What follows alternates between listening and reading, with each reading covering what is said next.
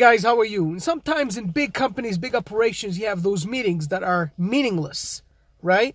We all know about them. If you have, if you have an operation, you are running those meetings, or you have a boss that is running those meetings, tell him.